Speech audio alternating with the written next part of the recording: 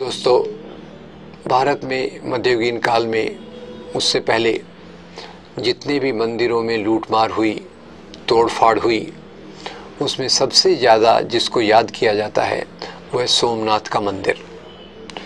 सोमनाथ का मंदिर गुजरात में है और इस सोमनाथ के मंदिर को महमूद गजनवी ने कई बार लूटा। और उससे ये कहा जाता है कि मुसलमान राजाओं ने हिंदुओं के मंदिरों को, हिंदू धर्म तोड़कर, हिंदुओं के मंदिरों को तोड़कर हिंदू धर्म का अपमान किया। इस पर मैंने कई जगह पे विस्तार पे बोला भी है, कहा भी है।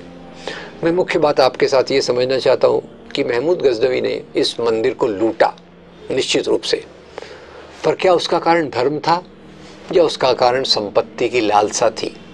मैं आपके साथ पहले भी बात कर चुका हूँ कि राजाओं ने मंदिरों को लूटा, वो हिंदू राजा भी होंगे मुसलमान राजा भी होंगे। तो मंदिरों को तोड़ने के पीछे, मंदिरों को लूटने के पीछे जो कारण थे, वो कारण थे सत्ता के और संपत्ति के। सोमनाथ के बारे में तो पूरा पूरा ये चीज़ संपत्ति से जुड़ा हुआ है। महमूद गजनवी गजना से आता है, जो बहुत दूर है, सैकड़ों किलोमीटर, हज़ारों किलोमीटर दूर है गजना सोमनाथ से, वहाँ से वो आता है। और जब वो आता है तो पहली बात नोट कीजिए कि उसकी फ़ौज में केवल मुसलमान नहीं है। उसकी फ़ौज में पाँच सेनापति हैं जो हिंदू हैं। इनके नाम हैं तिलक, सोंधी, हरजान, राय और हिंद। आगे आता है वो। रास्ते में हज़ारों मंदिर पड़े होंगे। वो खुद दावा करता है कि वो सोमनाथ आ रहा है मूर्तियों को तोड़ने के लिए। वो दावा करता है कि वो मूर्तियों को तोड़ने वाला राजा है, मूर्तियों को मानने वाला राजा नहीं है। पर आप देखिए कि जब वो गजना से लेके सोमनाथ आ रहा है तो रास्ते में हज़ारों मंदिर हैं, उनकी मूर्तियों को वो नहीं तोड़ता। उसका निशाना सोमनाथ पे क्यों क्यों है? क्योंकि सोमनाथ का मंदिर एक धनी मंदिर था। सोमनाथ के मंदिर में ऐसा अनुमान लगाया जाता है कि उस समय जो संपत्ति थी, वो एक सौ इक्यावन करोड़ के बराबर की थी, जो बीस हज़ार सोने की दीनारों के रूप में थी। और खैर, महमूद गजनवी ने सोमनाथ को लूटा। उसके पहले उसके रास्ते में एक आनंद पाल आता है। आनंद पाल जो राजा था, उसने टीपू सुल्तान की मदद की, क्योंकि वो सत्ता का सवाल था। वो टीपू सुल्तान के से हारना नहीं चाहता था। तो आनंद पाल ने, जो थानेश्वर का राजा था, उसने महमूद गजनवी से समझौता किया। तो ये फिर से हिंदू मुसलमान का मामला नहीं था। लूटने वाली फौज में हिंदू भी थे, मुसलमान भी थे, संपत्ति उनके हाथ में आ गई।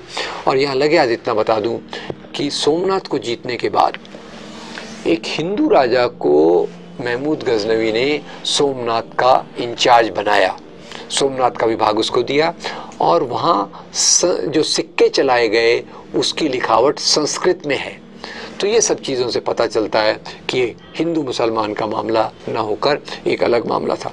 लगे हाथ यहाँ मैं दो चीज़ें और जोड़ दूँ कि यहाँ तक संपत्ति के लिए सवाल है तो कई हिंदू राजाओं ने भी मंदिरों को तोड़ा। एक का उल्लेख मिलता है, ग्यारहवीं शताब्दी की किताब राज तरंगिणी में। कवि कल्याण अपनी किताब राज तरंगिणी में लिखते हैं। कि राजा हर्षदेव, जो कश्मीर के राजा थे, इन्होंने मंदिरों से संपत्ति तोड़ने के लिए एक नए ओहदे का निर्माण किया, जिसका नाम था देवोत्पतन नायक। तो खैर, ये हिंदू राजा था, जो संपत्ति के लिए इस प्रकार से कर रहा था। प्रोफेसर डी एन झा बताते हैं कि जब पुष्यमित्र शुंग आया उसने बुद्ध धर्म को समाप्त करना चाहा तो उसी के चलते उसने बहुत सारे बुद्ध विहारों पे हमला किया, बहुत सारी चीज़ों को उसने आक्रमण किया। मैंने आपको बताया कि जब मराठा सेनाएँ टीपू सुल्तान पर आक्रमण करने गई, उन्होंने भी श्रीरंगपट्टनम के मंदिर को तोड़ दिया। तो मुख्य रूप से महमूद गजनवी, जिस प्रकार का भी राजा हो वास्तव में वो अपने सत्ता के और संपत्ति के उद्देश्य से सोमनाथ तक आया और उसने वहाँ की मूर्तियों को तोड़ा और एक बहुत बड़ी संपत्ति को प्राप्त किया। और उसके बाद एक हिंदू राजा को अपने प्रतिनिधि के रूप में सोमनाथ का राजा बनाया। धन्यवाद।